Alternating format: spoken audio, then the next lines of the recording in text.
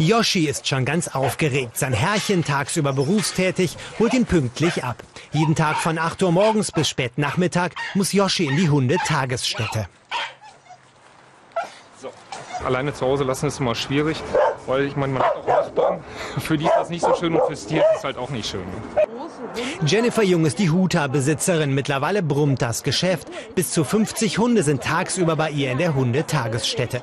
Die meisten ihrer Kunden sind Berufstätige, die dann den ganzen oder halben Tag ihre Lieblinge abgeben. Auf einem Areal fünf Fußballfelder groß werden die Hunde bespaßt und betreut, während sich Herrchen im Büro abmüht.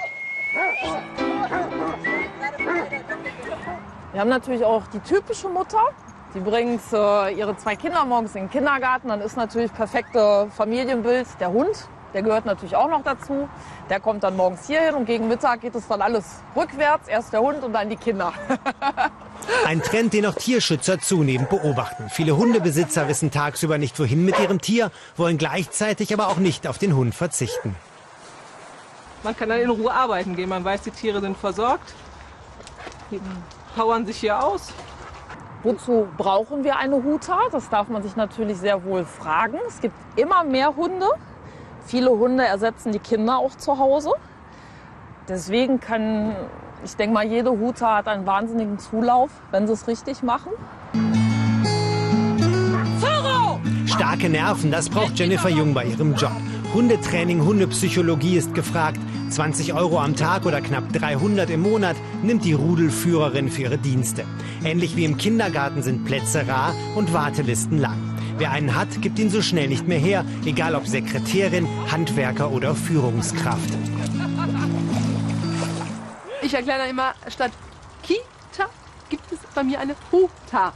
Weil mein Baby geht eben in die Huta statt in die Kita. Und dann ist das Gelächter meistens groß. Wie in der Kita auch gibt's natürlich Frühstück und Mittagessen für die Hunde. Die Besitzer lassen Jennifer Jung morgens immer ihre individuellen Leckerchen da. Das wird meistens dann so angeliefert von den Besitzern. Und da ist dann das Pausenbrot drin, das Mittagessen für die Hunde.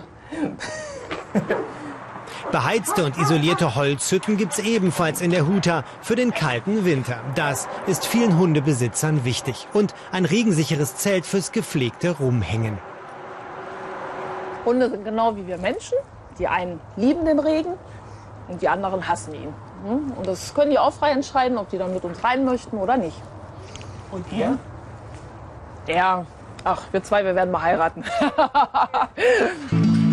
Um 18 Uhr endet für die meisten Hunde ihr Huta-Tag. Ausgepowert für viele Hundebesitzer zählt aber nur eins. Hauptsache, ihre Lieblinge sind tagsüber nicht allein.